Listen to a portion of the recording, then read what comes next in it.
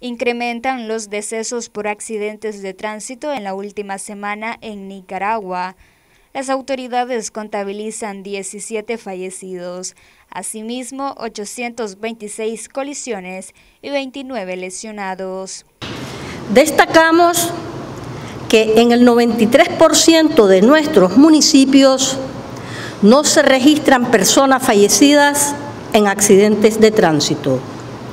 Ocurrieron 826 colisiones. Resultaron 17 personas fallecidas y 29 lesionadas. En relación a la semana anterior, incrementaron en 5 las personas fallecidas y disminuyeron en 1 las personas lesionadas. Los afectados, 9 conductores, 5 peatones y 3 pasajeros. Las principales causas, 6 por exceso de velocidad, 3 por estado de ebriedad y 8 por otras causas. La jefa de Tránsito Nacional, Vilma Reyes, brindó recomendaciones a los nicaragüenses para evitar tragedias. Y nuestras recomendaciones para salvar vidas. Respete los límites de velocidad y las señales del tránsito. Revise el estado mecánico de su vehículo, frenos, llantas, parabrisas, luces y pidevías. Utilice los dispositivos de seguridad, triángulos, conos, cintas reflectantes. La embriaguez es la causa principal de fallecidos en accidentes de tránsito. Si toma, no conduzca.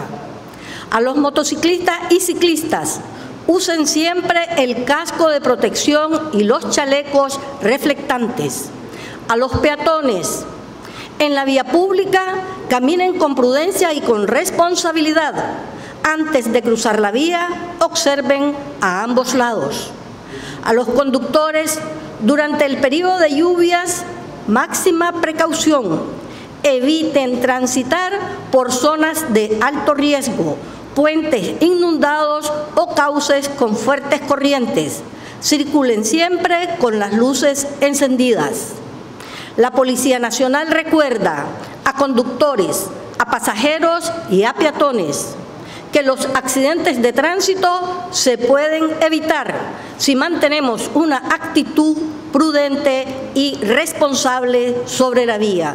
Por otro lado, la vicepresidenta de Nicaragua, Rosario Murillo, en su alocución diaria dijo que van a realizar un plan nacional de emergencia vial para tratar de disminuir accidentes de tránsito.